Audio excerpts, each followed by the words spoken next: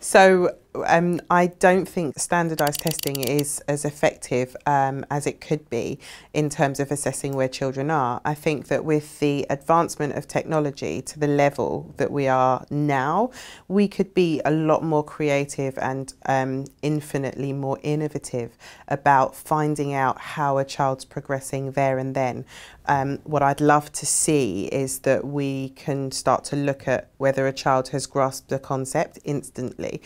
and um, and be able to correct that if they haven't um, and allow them to pass a module if they have.